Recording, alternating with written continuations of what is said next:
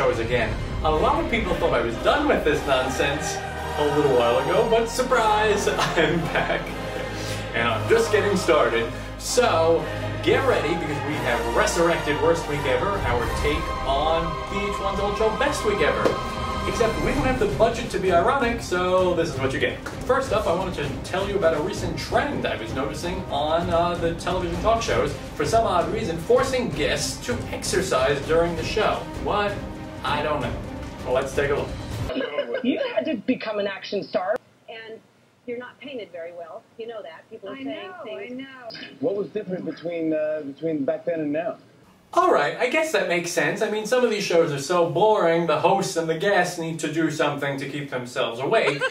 but my question is, why aren't the celebrities who actually need the exercise being forced to do this? I mean, Al Roker and Kirstie Alley should be the ones on treadmills. uh, actually, let's, speaking of Al Roker, let's check in with the Today Show weatherman right now.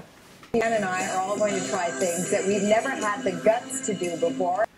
Interesting. You hear that? Al Roker is going to do something that he's never had the guts to do before. Uh, that means limit himself to only one box of Twinkies per week. yep. no. Oh. Uh, um, maybe not. Let's let's find out what he actually wants to do. I, uh, I actually did it yesterday. Uh, I climbed up onto the cabling that holds up the bridge, the George Washington Bridge roadway, Okay, and I you're went to the top of the tower to Now look at change. this, like- guys. mine was high. Most people Interesting. Okay. In other morning show news. Uh oh. Hold on. Wait just a minute. There is breaking news. At the scene of the bridge where Al Roker is climbing, let's go to that scene right now. Oh,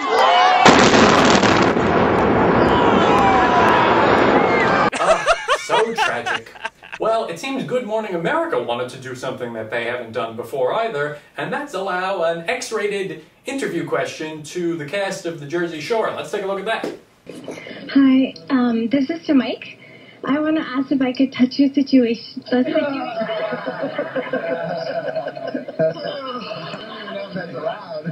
If you think talk of a little situation, which is probably an accurate description because I think steroids has that effect, or so I'm told.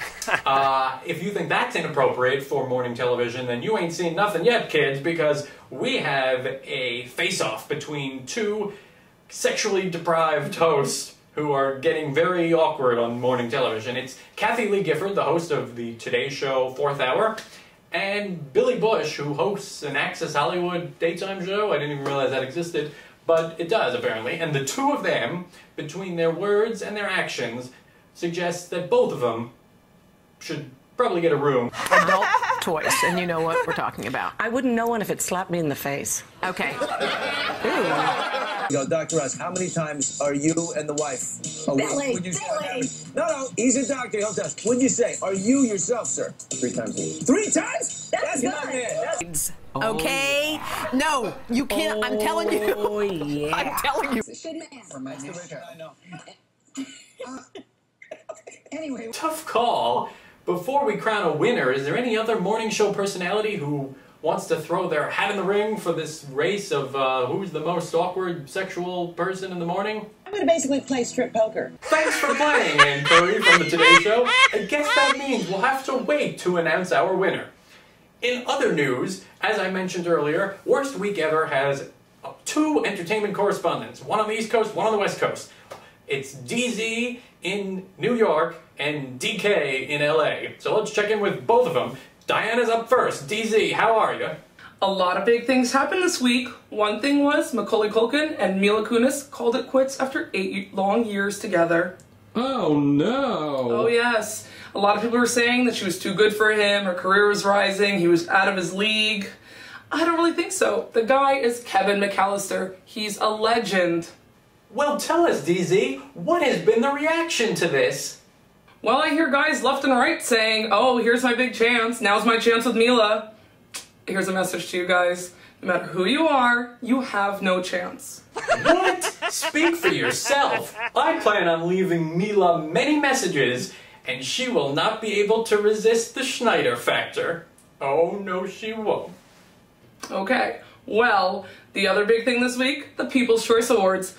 Mm-hmm. Awards were given to Kristen Stewart of Twilight for favorite movie actress, William Shatner's Shit My Dad Says for favorite new television comedy, and to Adam Sandler's Grown Ups for favorite comedy movie. What? Those winners sound like they should be at the Blind People's Choice Awards. oh, I know. See, usually I am pro choice, but after seeing the People's Choice, I might have to be pro life. Are you sure about that, DZ? Without all your options on the table, you might have to alter your social life. Speak for yourself. Okay, now let's go out to California, where DK is patiently standing by. DK, take it away. What's up, viewers? Welcome to the to the um. The name of the show is Worst Week Ever. Oh, right. That's right. Okay, so welcome to the show. Anyhow, my name is David. I am your correspondent from California. Uh, but anyhow, thanks for tuning in. Um, we'll be reporting on awesome things like uh, like how Britney Spears died this morning.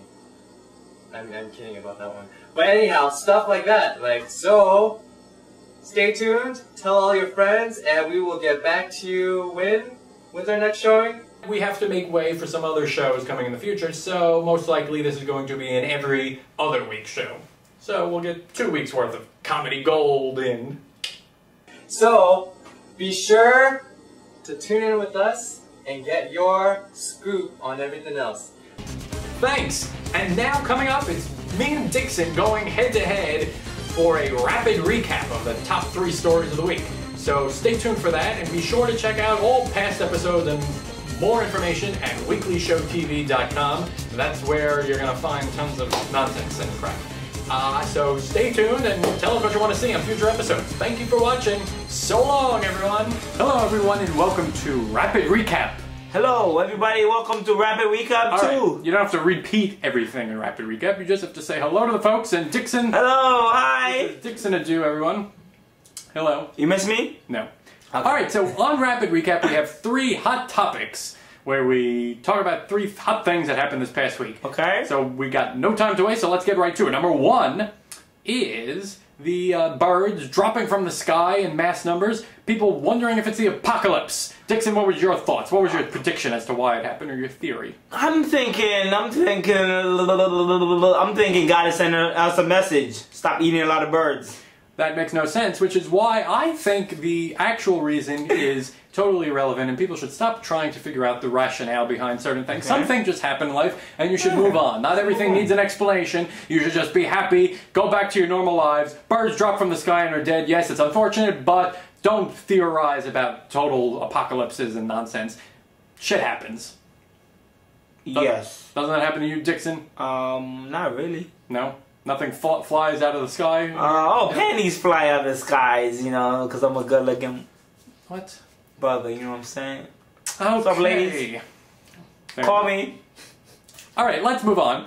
Uh, the next issue is Jersey Shore. Oh, Jersey ratings. Shore, my favorite show, Jersey Shore, is back and is uh, oh my god. Um, so Snooki, Snooki's new roommate D, What? JWoww, um, All right, you don't. Uh, listen. Pauly D, Okay. People, you don't have to just rattle off the character's name. Situation. All right, we got Yes, it. My got it? point with the Jersey Shore is Yes. I know everything about this show, and I've never even seen one episode. So to me, yes, it's somewhat exciting that these random people became famous. But why do you actually have to watch the show to actually know what know what's going on about them? Is it really entertaining? It's very, very entertaining. What are you talking about? Like, I mean, I'd rather, I'd rather watch Jersey Shore than to watch. Um, Rapid recap. You're right. What? Or or watch any other, or watch any other channels. Like, uh, come on, it's Jersey Shore. Well, the I mean, come on, Tannin, or gym, and what, and what else?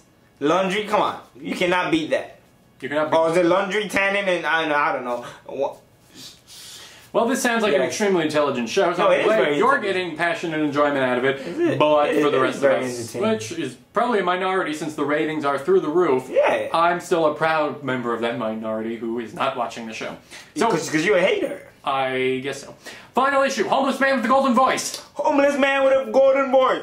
I don't know what we have to say about him. He could sing, he could dance, he can do the mamba, but My question is, do you think there are a lot of homeless people with some sort of secret hidden talent? I mean, I think there's a lot of homeless people with a lot of um, hidden talents. Like, Is that your impression of the homeless person? I don't know what you're doing no, right now. No, not, but you No? know, he, yeah, he's very lucky. You know, he's very, very lucky. Very lucky. My question is, do you think he's going to use his newfound fame and fortune to help any homeless people he met along the streets, or maybe a pigeon who's a friend?